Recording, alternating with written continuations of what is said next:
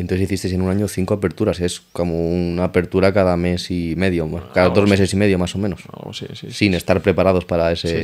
Porque no estabais preparados. No estábamos preparados. Te preparaste estando en el barro, ¿no? Efectivamente, sí, sí. Yo me acuerdo que en ese momento ya eh, al tercer, cuarto local vi que eso se estaba haciendo grande, que necesitaba empezar a procedimentar, a crear procesos, a, a entender la compañía desde otro punto de vista. Contraté una consultoría que era de dos venezolanos fantásticos que venían de hacer una restauración muy interesante en Venezuela y me ayudaron a poner orden a eso.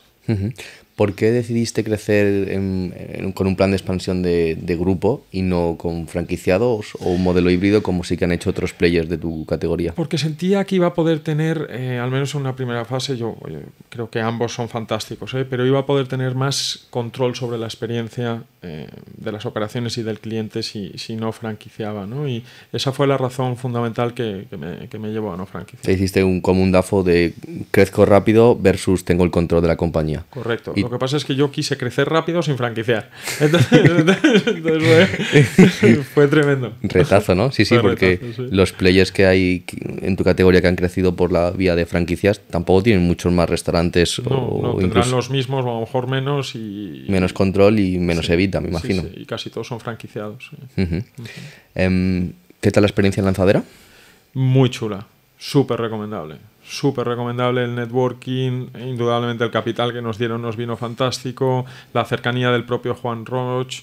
Eh, ¿Pudisteis hablar con él? Sí, sí, sí. sí ¿De verdad? Tremendo, tremendo. ¿Os mentorizaba? Sí, sí, sí. Fue como a dos o tres sesiones y el tío conocía los proyectos que estaban ese año dentro de su incubadora. O sea, había hecho su, su trabajo previo, ¿no?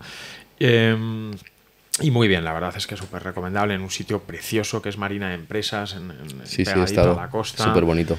¿Y viviste allí seis meses, me imagino? No, íbamos y veníamos en AVE. Como la operación estaba aquí, pues nos permitían no estar ahí de forma constante, pero había ciertos días al mes que sí que tenías que estar. ¿no? Luego mm. nos tocó un tutor que era fantástico, que era un tío que venía de emprender.